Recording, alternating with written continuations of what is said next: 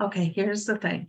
You've had a super bad day at work. You get home, you take off your shoes, you hang up your keys, and you start digging into a snack bag while you're figuring out what to eat for dinner because you're stressed out, you're tired, you've had a, a really just hard day, and you're drained, right? You're looking for relief. And we often can find that through food, right? Because food is comforting, it makes us feel better, it feels safe and secure, and it's soothing, right? But you do that time and time again, and all of a sudden you find yourself emotional eating every time there's a trigger that has some of these similar feelings to it, right?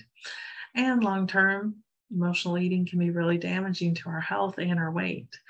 So, understanding where your emotional eating is coming from, including some of those salt and sugar cravings, is really the key to unlocking how we defeat emotional eating and bring it back into check to support health and not just have it be that emotional blanket when we're needing something.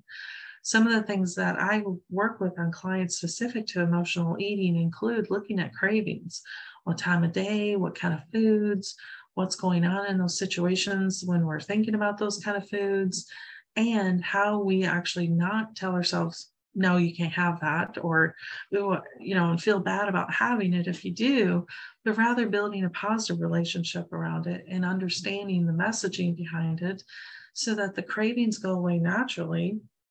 And when we want you know for instance chips and and sweets it's not a punishing act. We can use it to the good and and feel good about eating it without the guilt right but it takes some time to understand emotional eating and how significantly our emotions are tied to our physical health rebuilding that relationship within ourselves is really key to overcoming emotional eating and rebuilding that positive relationship with food.